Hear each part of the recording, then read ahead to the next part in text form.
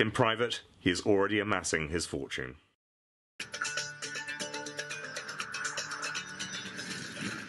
As you see, the discovery of gas literally transformed our country overnight, helping us realize the national vision and giving us a proud and secure future. Political rivals find themselves sidelined no matter how well connected or powerful they believe themselves to be. The main objective of this idea right now is that uh, so many uh, organizations and countries that are trying to gamble in the OPEC and to have the collapse of the OPEC. But again, I would like to reassure that the OPEC will be strong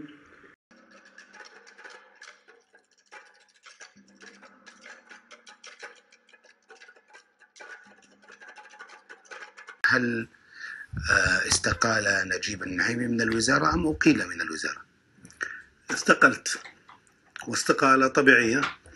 حكم إني أنا رأيت إن هذا وقت آه، محتاج إني أخرج. إنسان حس إن هذه وصل إلى حد لا يستطيع أن يستمر فيه كوزير في حكومة. انتهى يعني انتهت قدرة عطائك في الحكومة. أنت تبي تحطها بهذا الحجم؟ حطها. He is what they say in Arabic, Khabir al Khubara, the expert of experts, eminently qualified. Please join me in welcoming Minister Attiyyah back to the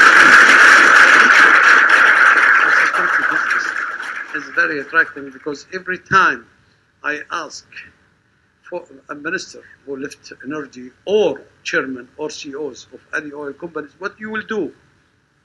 Consultancy. So it's becoming, you know, uh, somebody asked me, me the same question, and I said, not, not consultancy. Uh, I, I think this is, is not, uh, you know, it's a good business. But I will give you free, you know, free uh, advice. You know, don't believe forecaster. for children with special needs. So it's important for us to share with with them the, the, this first. Major Qatari businessmen who think they are secure after running successful private enterprises find themselves on the losing end of hostile takeovers.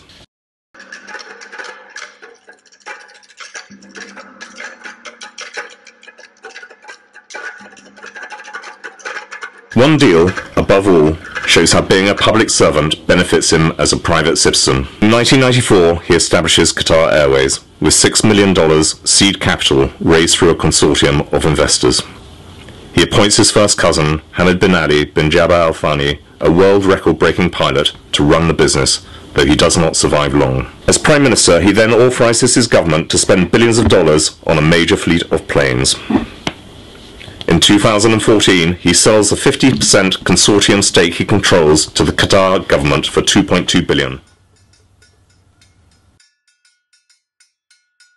وأتسلم مقاليد الحكم في البلاد خلفا لوالدي الذي سيبقى والدا للجميع عزيزا له المحبة والتقدير والتقدير والإجلال 1995, his first big power play. A natural conspirator, HBJ installs his cousin Sheikh Hamad as emir in a bloodless coup.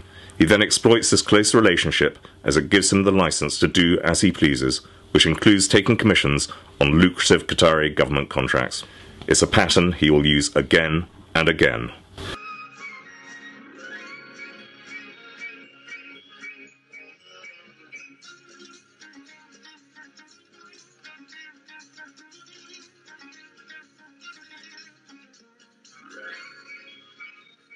النهارده الامير بتاع قطر اتنازل لابنه الاميره آه، موسى اه الليلة اه دي يمكن ده طب بس كده حمد بن جاسم شخصيه قويه هيعمل معاه كده يعني رئيس الوزراء وزير الخارجية. الشيخ موسى ما تحبوش. هتشيله بقى هتمشيه بس يمكن يقعد شوية. لكن حمد ده الدول بتاعه. لما قلت لك معاه في العربية وبعدين بقول له العمارة دي قال لي بتاع حرام الدوحة. لا ضروري على حمد آه بتاع حرام الدوحة. بنسميه حرام الدوحة. يعني يعني طب هو مخليه ليه طب هو لما هو مش مبسوط منه اه كله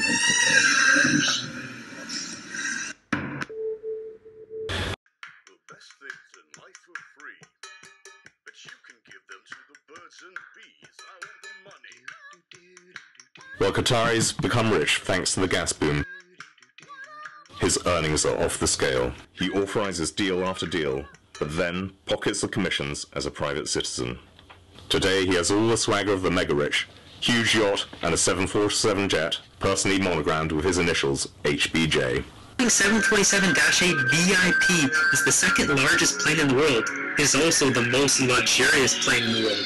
At a whopping $367 million, excluding rotary upgrade, this plane makes private jets look like toys. The client's identity remains undisclosed. It has been tracked that the first VIP plane went to Qatar, and another has been tracked to Bermuda.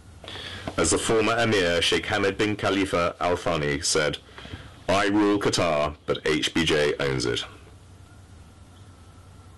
Bizarrely, given what is already in the public domain at the time, Forbes magazine estimates his wealth at $1.2 billion. Court documents, which HBJ's lawyers did not contradict, estimate his assets in London alone to be around $4 billion. The Guardian puts his global wealth at $12 billion. The real figure is significantly higher. Your love gives me such